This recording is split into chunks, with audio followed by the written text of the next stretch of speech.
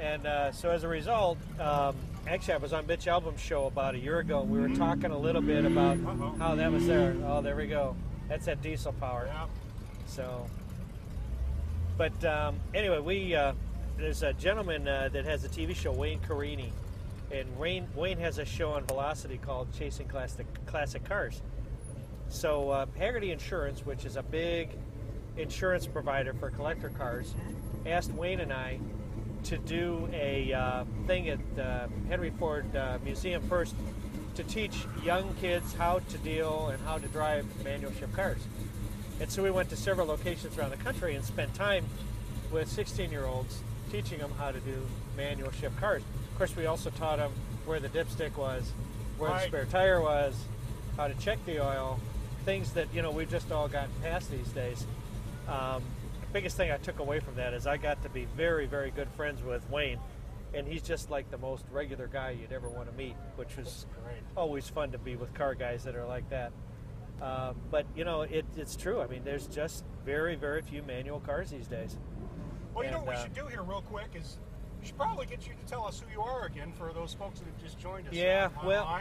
I am the probably the ultimate car guy. There are some people think I need psychiatric help, but uh, my name's Ken Lingenfelter, and I own Lingenfelter Performance Engineering and and the Lingenfelter Collection, where we do uh, charity fundraisers out at our car collection in Brighton. So, and uh, we are building race cars, supercharging General Motors products every day of the week for our business, and and having a whole bunch of fun doing it.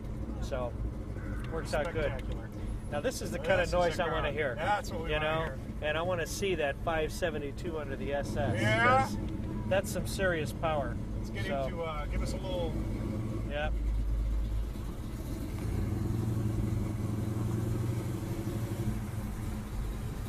Hey, buddy. You want to rev that motor for Channel 7? Yeah, very cool. there we go. Good job. Thank you. Thank you. That's some serious horsepower. That's, That's some serious. well, that's sick pretty. there. Well, I don't know if you can see out the left side. The rain is indeed going to hold up. It's going to be perfect.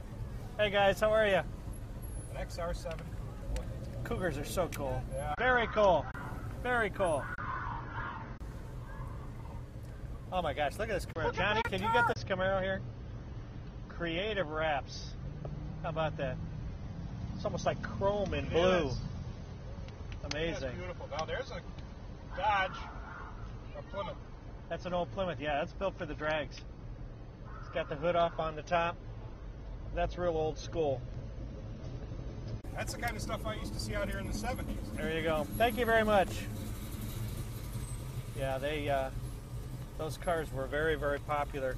You know, back in the day, I was a teenager uh, in the late '60s and early '70s, and that's when the Mopars and the Fords and the Chevys were out dragging at Detroit Drag Right. Strip. Uh, Yep, I, Exactly right here. I I have to admit I've put a lot of rubber down on this road over the years, and uh, this and also Telegraph Road.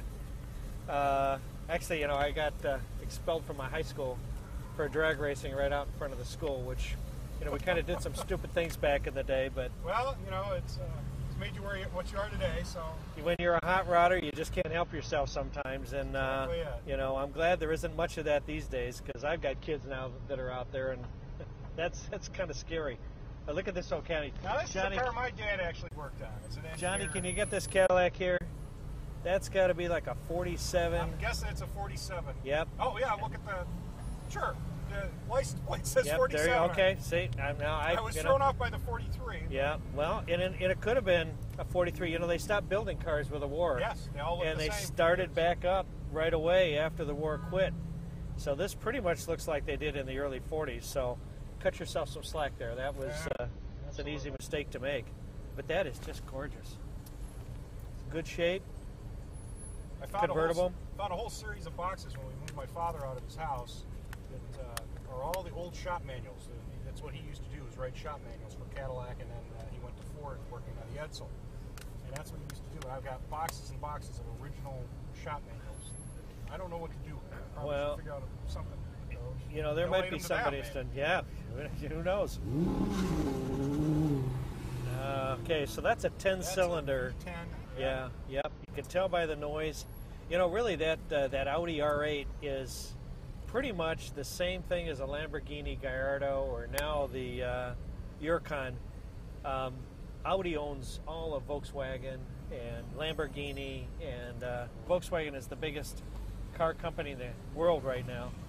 And this is one of their products, and it's pretty amazing. They're all-wheel drive, uh, Audi, you know. Sure. So, Maybe you could rev that for us a little bit too. hey, buddy, want to rev that for Channel Seven? Can you do that for us? Excellent, very cool. Thanks. Those are amazing. Well, let's get up to this Cadillac we saw Yeah. earlier here. Let's just tell them how. Hey, I gotta tell you, this is beautiful. Very nice. Very, very nice. Hey, how about that? Very cool. Is it a 47? All right, we were right. Very good. License plate gives it away. Yeah. Very good. Excellent. Have fun.